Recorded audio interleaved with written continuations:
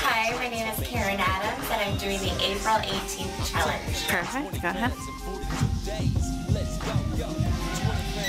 Two four Adams, I did the April 18th challenge, and this is my final weigh-in. Okay, go ahead.